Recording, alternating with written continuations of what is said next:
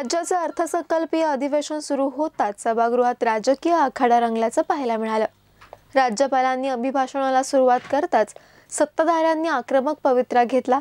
राज्यपालांनी छत्रपती शिवाजी महाराजांबाबत केलेल्या वादग्रस्त वक्तव्याविरोधात सभागृहात जोरदार घोषणाबाजी झाली. त्यामुळे राज्यपालांनी अभिभाषणाला आटोपतं घेतलं आणि ते राजभवनाकडे रवाना झाले. मात्र तरीही सत्ताधाऱ्यांचा आक्रमक पवित्रा कायम होता. आमदार संजय दौंड यांनी तर खाली डोकं वर पाय करत राज्यपालांचा निषेध केला आणि ते चर्चेत आले. मात्र हे संजय दौंड नेमके आहेत तरी कोण याची अनेकांना उत्सुकता आहे. विधिमंडळाच्या अर्थसंकल्पीय अधिवेशनाच्या पहिल्याच दिवशी जोरदार गोंधळ पाहायला मिळाला. राज्यपालांच्या अभिभाषणावेळी सत्ताधारी आमदारांनी घोषणाबाजी केल्याने राज्यपाल कोश्यारी यांनी सभागृहातून काढता पाय घेतला. त्यानंतर आमदार संजय दौंड यांनी विधिमंडळाच्या पायऱ्यांवर खाली डोकं वरपाय केले.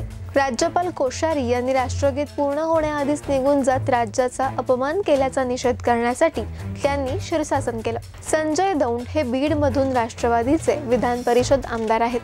ते माजी मंत्री आणि काँग्रेस नेते पंडितराव दौंड यांचे पुत्र आहेत. पंडितराव दौंड आणि राष्ट्रवादीचे अध्यक्ष शरद पवार यांचे जुने राजकीय ऋणानुबंध आहेत. संजय दौंड हे अनेक वर्ष बीडच्या राजकारणात सक्रिय आहेत. त्यांनी जिल्हा परिषदेचे सदस्य म्हणून आपल्या कामाचा ठसा उमटवला. ते एकोणीसशे ब्याण्णवपासून जिल्हा परिषद सदस्य होते. संजय दौंड हे सामाजिक न्यायमंत्री धनंजय मुंडे यांच्या मर्जीतले मानले जातात. धनंजय मुंडे हे बीडमधील परळी मतदारसंघातून विधानसभेवर निवडून गेले. त्यामुळे रिक्त झालेल्या विधान परिषदेच्या एका जागेसाठी चोवीस जानेवारी दोन हजार वीस रोजी पोटनिवडणूक होणार होती. या जागेसाठी दौंड यांचा अनुभव तसेच विधानसभा निवडणुकीतील त्यांची कामगिरी पाहता महाविकास आघाडीकडून राष्ट्रवादीतर्फे धनंजय मुंडेंनी संजय दौंड यांच्या नावाची शिफारस केली होती. त्यानुसार पक्षाने दौंड यांना उमेदवारी दिली तर भाजपकडून राजन तेली निवडणुकीच्या मैदानात उतरले होते. मात्र विधान परिषदेत महाविकास आघाडीकडे एकशे सत्तर सदस्यांचं बळ आल्यानं दौंड यांचा विजय निश्चित होता.